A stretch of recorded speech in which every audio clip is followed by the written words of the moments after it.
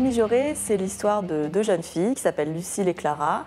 Euh, au début du livre, on est en 1992. Elles se rencontrent, euh, elles rentrent en quatrième dans un collège des beaux quartiers euh, parisiens.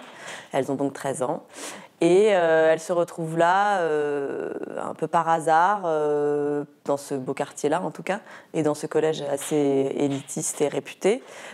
Parce qu'elles habitent toutes les deux dans un appartement loi 48 et du coup elles arrivent là elles se sentent un petit peu différentes des autres, mais en même temps, elles ne sont pas non plus complètement décalées, elles sont gentiment décalées. Et c'est par ce décalage, par cette, euh, ce qu'elles vivent comme une différence, qu'elles vont se, rencontrer. Et euh, l'histoire de ce livre, c'est l'histoire de cette amitié entre elles deux, qui donc euh, s'étale sur plus de 20 ans, donc de 1992 à 2015, et qui, imaginons-nous, continue par la suite. Enfin, on l'espère en tout cas à la fin du livre. Et euh, c'est l'histoire de cette amitié avec, euh, euh, avec ses, ses, passions, puisque c'est l'idée du livre, c'est de le raconter, de raconter cette histoire d'amitié comme une histoire d'amour, comme une immense histoire d'amour qui n'en finit pas. C'est l'idée du livre, hein, c'est histoire qui n'en finit pas, qui ne se brise pas, mais qui connaît quand même des épisodes de de, failles, on va dire. Euh, ce ne sont pas vraiment des brisures, mais ce sont des failles. Et, euh, la vie qui se charge de euh, les malmener individuellement et ensemble. Et, c'est ce, parcours de vie en fait entre l'adolescence et l'âge adulte. C'est un passage aussi, c'est un peu ça fait un peu pompeux, mais c'est un peu un roman d'apprentissage, sans me comparer euh, du tout aux écrivains qui ont écrit des très beaux romans d'apprentissage, mais c'est quand même un peu l'idée.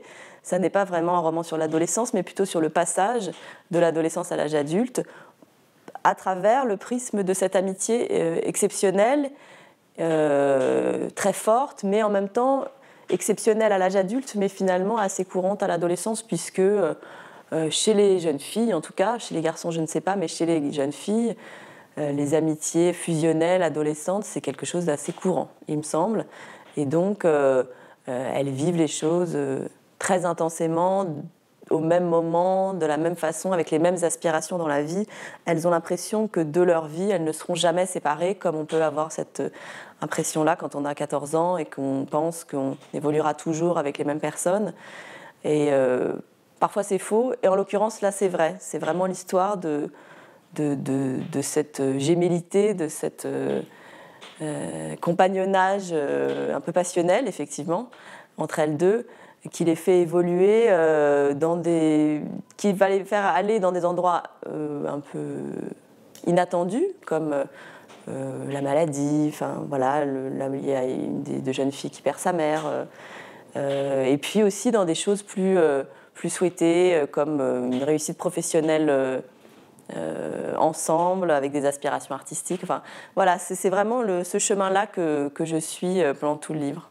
Les années 90 et les années 2000, c'est vraiment quelque chose qui, qui me donnait envie. J'avais envie de raconter ces années-là parce qu'elles sont peu traitées, effectivement. Après, on n'a pas énormément de recul non plus, c'est vrai que c'est assez proche.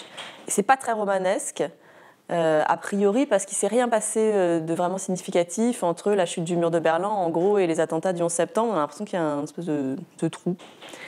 Et en fait, pas du tout. Il s'en est passé plein des choses. Et ce qui m'intéressait, c'est que ces deux jeunes filles, donc Lucille et Clara, elles grandissent, elles se, elles se font en fait euh, dans ces années-là, elles, elles, se constituent dans ces années-là. Donc tout ce qui va se passer autour du sida notamment, puisque c'est quelque chose dont je parle beaucoup dans le livre, sur la façon dont le sida devient extrêmement important, euh, craint. On a l'impression que c'est l'événement le, plus important des années 90. Enfin, moi, c'est comme ça que je l'ai vécu en tout cas. C'est l'avènement du sida et cette crainte d'attraper le sida chez cette jeunesse-là qui euh, n'a plus du tout lieu aujourd'hui. Je pense que, enfin, j'ai l'impression qu'en tout cas, ça n'est plus comme ça qu'on parle du sida. Donc, euh, il y a cette espèce de, de, crainte du sida qui fragilise en fait ces deux jeunes filles, et puis aussi l'avènement de la crise, même si en fait la crise, elle a commencé bien avant, mais euh, cette espèce de, en fait, de fragilité voilà, sociale qui, j'ai l'impression, est arrivée dans les années 90. Euh, dans les années 80, on a l'impression que c'était vraiment euh, l'insouciance totale, la folie, etc.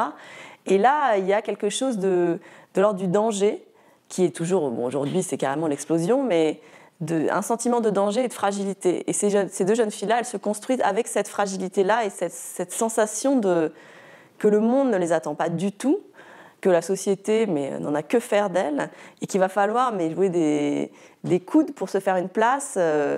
et elles, se faire une place, on va dire que c'est pas c'est pas leur priorité ou elles n'ont pas vraiment la méthode. C'est très sensoriel évidemment. Quand on entend la musique d'une époque, on a l'impression de retrouver l'odeur de l'époque. Et c'est l'équivalent de l'odeur, la musique. Et donc, mon livre euh, est jalonné comme ça de musique. Donc, on commence avec, euh, avec Queen et, euh, et Freddie Mercury et la mort de Freddie Mercury, qui donc est mort du sida. Donc, tout ça rentre parfaitement dans le, dans le, cadre historique.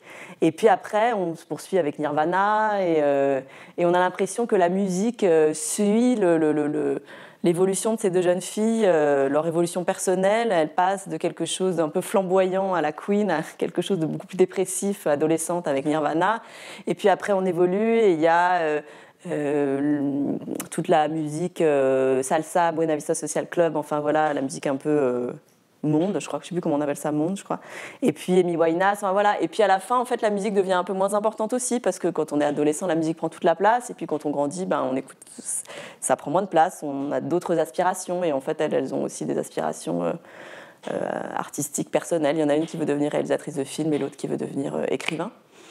Donc la musique n'est plus le seul art qui, qui vient souder aussi cette amitié. Elle se rassemble aussi autour de l'art. Et c'est ça qui est assez que je trouvais assez beau aussi de raconter, c'est-à-dire qu'elles ne sont pas juste amies pour être amies, elles sont aussi amies pour, se, pour s'élever euh, individuellement. Forcément, il y a, y a, de l'autobiographie, c'est, évident. Le livre joue de ça aussi, c'était un peu l'idée, c'est-à-dire que je, je, me suis inspirée de, de, de, ma meilleure amie et moi, hein, on va dire ça tout à fait euh, simplement. Euh, après, j'avais envie qu'en lisant ce livre, on se, on se dise tout est vrai, tout ce que je raconte, c'est exactement ce que j'ai vécu. Or, c'est faux, bien sûr, sinon ça n'aurait aucun intérêt, je pense. Donc, euh, je, me suis servi du réel comme, d'un terreau sur lequel, après, j'ai, imaginé, j'ai transformé, j'ai tordu avec une malhonnêteté, mais absolue, qui me semble être vraiment le, la grande liberté de la littérature, c'est de pouvoir euh, être mentir en permanence tout en disant que c'est vrai. C'est vraiment l'idée du livre, c'est-à-dire que je me suis arrangée avec le réel euh, comme je le voulais. Donc euh, la dimension autobiographique, elle est évidente. Évidemment, il y a un personnage qui est écrivain, l'autre qui veut devenir cinéaste. Euh, et effectivement, c'est un peu les deux faces d'une même personne, Lucille et Clara. Elles sont à la fois extrêmement différentes et en même temps extrêmement similaires. Et c'est justement ça qui est intéressant, c'est de raconter finalement, c'est un portrait de jeune fille. Euh, dans toute sa complexité et euh, de ne pas se limiter à un personnage. J'aime retrouver dans l'adolescence la fraîcheur aussi, parce que c'est quelque chose euh, que j'aime beaucoup, la fraîcheur. et puis, j'ai beaucoup de tendresse en fait pour la naïveté qu'on a quand on est enfant quand on est adolescent et, et qui se brise un peu après parce qu'on n'a pas le choix. Donc oui, il y a une continuité avec mes précédents romans, c'est évident. Et sur l'amitié aussi, que je trouve qui est un sujet qui est un sujet passionnant parce que euh, euh, euh, c'est l'amour un peu à côté, c'est l'amour sans être l'amour. Donc je trouve que ça laisse une énorme place à, à l'écriture justement parce qu'on peut réutiliser des motifs très galvaudés en littérature sur l'amour, puisque c'est quand même le grand thème de la littérature française, je trouve, l'amour, et pas que française. Et on peut les, les, les malmener, justement, ces motifs que tout le monde connaît sur la passion amoureuse, par exemple. Là, avec l'amitié, traiter de l'amitié de cette manière-là, ça me permettait de, d'écrire comme un mélo voilà, sur l'amitié, euh, sans jamais tomber, du coup, en tout cas c'est ce que je voulais faire, dans, euh, la guimauve, quoi, pour parler un peu euh, trivialement. ça évite, voilà. L'amitié, ça permet de décaler le, motif littéraire. Je trouve ça passionnant. j'ai adoré écrire ce livre. Il y a aussi un peu de nostalgie, c'est vrai, dans le fait de traiter là, de l'enfance et l'adolescence. C'est comme si on voulait garder à tout prix ça, alors que sur le coup, en plus, on n'a pas eu du tout l'impression de vivre un âge d'or. C'est ça qui est vraiment paradoxal. C'est que c'était pas un âge d'or d'ailleurs. Euh, l'adolescence, c'est tout sauf un âge d'or. Mais euh, et puis aussi, c'est vrai que c'est aussi un rapport à la société. Donc c'est ce que je racontais sur euh, sur la manière dont je voulais raconter l'adolescence. Là, elle est très ancrée dans une époque. Donc quand j'ai commencé ce livre, les attentats de Charlie Hebdo venaient d'arriver. Et du coup, j'avais la sensation qu'on avait basculé dans quelque chose d'extrêmement euh, oui, euh, périlleux et que le danger était à nos portes. Et là, du coup, c'était vraiment retrouver l'Eldorado euh, des années 90 où tout me semblait extrêmement joyeux, mais parce que tout bonnement, j'avais 12 ans. Donc, en fait, c'est faux. Évidemment que ce n'était pas le cas. Et je ne sais pas si c'était pire que ça ne l'était maintenant.